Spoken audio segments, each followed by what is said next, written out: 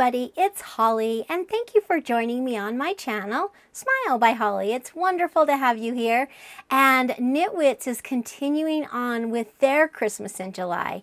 I know on my channel I'm doing it also so I was so excited to hear that Nitwits was doing that.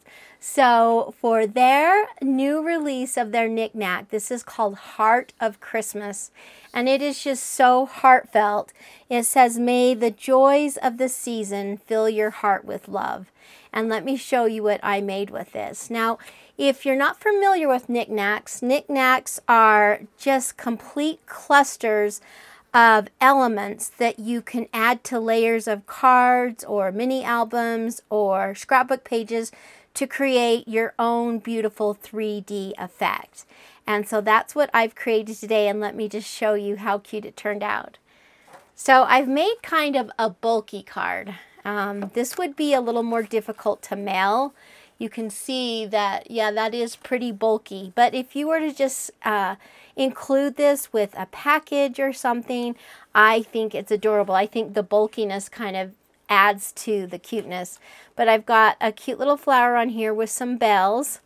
Uh, this little uh, embellishment says season's greetings. So you just open it up right here. And this is such a cute little pop-up card. This opens up and there you have that cute little knickknack element. And let me just show you kind of the side of it.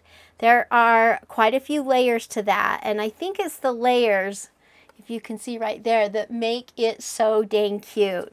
And then I've just added a separate little piece right here so you could write a little thought or sentiment. So anyway, that is the knickknack that's out today for Nitwit Collections Christmas in July. Hey, if you like this video, give me a big thumbs up. I would also love to have you subscribe to my channel.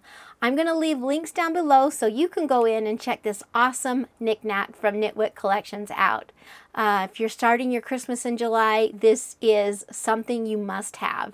Anyway, have fun crafting today and I'll see you on the next video. Goodbye everybody.